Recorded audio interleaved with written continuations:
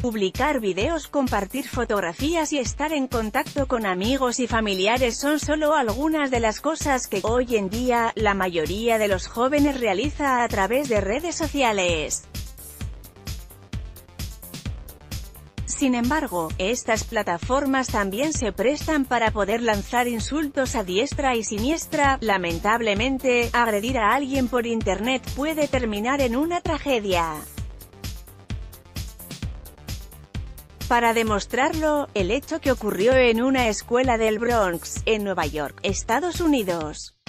De acuerdo con información de las autoridades, una niña, de tan solo 13 años de edad, apuñaló a su compañero de clases cuando se encontraba en la cafetería de la escuela. Medios locales reportaron que la víctima fue un chico, de 14 años, quien resultó herido en el hombro derecho.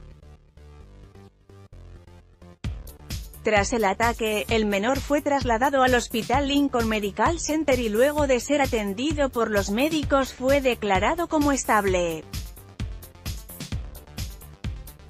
La niña, cuya identidad aún no ha sido revelada, fue puesta bajo custodia de la policía y se les notificó a sus padres sobre el suceso.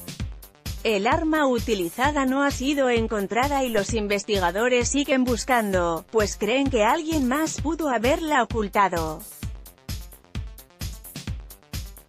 A través de un comunicado, el portavoz del Departamento de Educación aseguró que las armas de ningún tipo están permitidas dentro de las academias educativas, por lo que están implementando más medidas de seguridad. Asimismo, la policía explicó que el atentado fue originado luego de que los estudiantes involucrados intercambiaran ofensas en Internet. Con información del diario Ni, La Opinión y Telemundo anímate a comentar. Queremos saber tu opinión. Comentarios Powered by Facebook Comments.